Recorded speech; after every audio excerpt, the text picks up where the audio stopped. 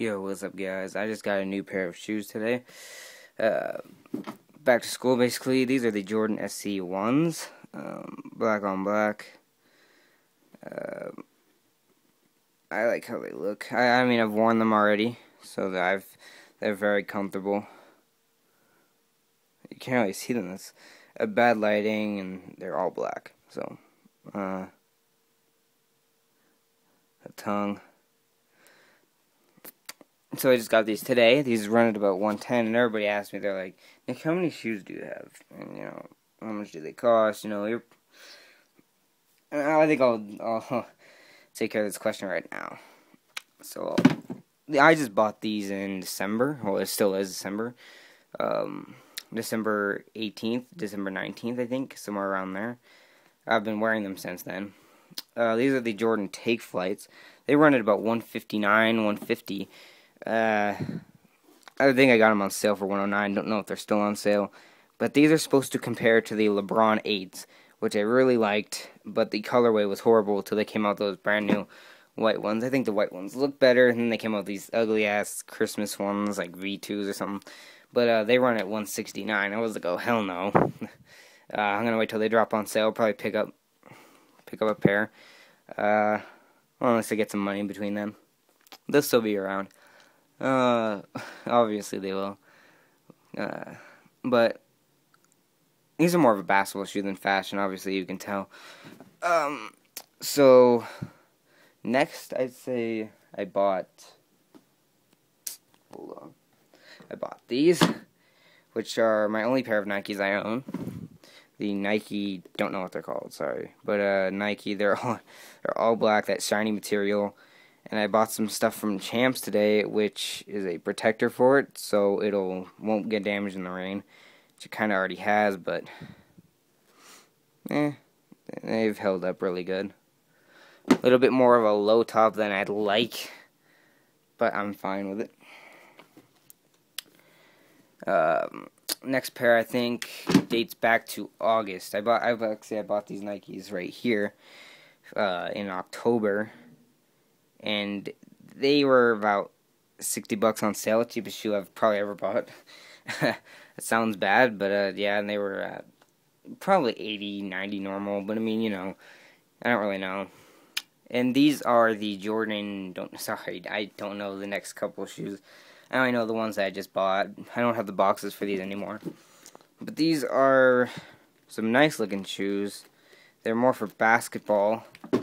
Didn't really like them. Uh, uh, they were okay when I first bought them, but then I, they got really uncomfortable. So, I think my. Sorry, I had to hiccup. But right here are my oldest pair of shoes I own. And they still fit, and I don't know um, what other people think, but I think for about a year and a couple months I've had these. And these have taken little to no damage, except maybe the scuff up here, but I mean, look at the shoe. I haven't really cleaned it that much. So, take that into consideration. And I think the tongue got ruined up in here. Yeah, he's, uh, uh, you can't really tell.